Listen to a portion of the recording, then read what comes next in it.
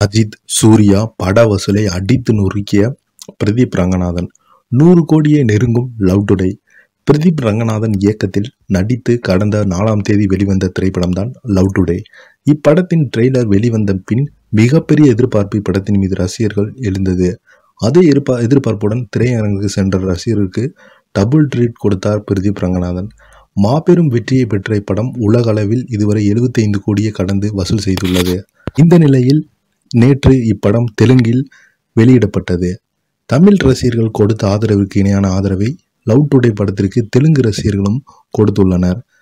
தெலுங்கில் வெளிவந்த love today திரைப்படம் நேற்று முதல் முதல் நாள் மற்றும் ரூபாய் இரண்டு கோடிக்கு மேல் வசூல் செய்து சாதனை படைத்துள்ளது. அஜித் நடிப்பில் தெலுங்கில் வெளியிடப்பட்ட வ வலிமை திரைப்படம் சூர்யா நடிப்பில் வெளியான இதற்கும் துணிந்தவன் திரைப்படம் ஆகிய இரு படங்களின் முதல் நாள் வசூலை லவ் டுடே படம் அதிக அளவு வசூல் செய்துள்ளது.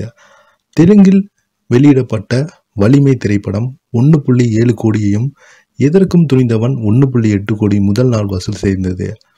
இப்படி சென்றிருந்த கொண்டிருந்தால் லவ் டுடே கண்டிப்பாக உலக அளவில் நூறு கோடியை கடந்து கடந்துவிடும் என தெரிவிக்கின்றன சினிமா ரசிகர்கள். இதை பற்றி நீங்கள் என்ன நினைக்கிறீன்னு உங்கள் கருத்துக்களை மறக்காமல் பதிவிடுங்க. மேலும் இது போன்ற வீடியோ உங்களுக்கு பிடிச்சிருந்தா லைக் பண்ணுங்கள் ஷேர் பண்ணுங்கள் கமெண்ட் பண்ணுங்கள் மறக்காமல் நம்ம சேனலையும் சப்ஸ்கிரைப் பண்ணிக்கோங்க. நன்றி வணக்கம்.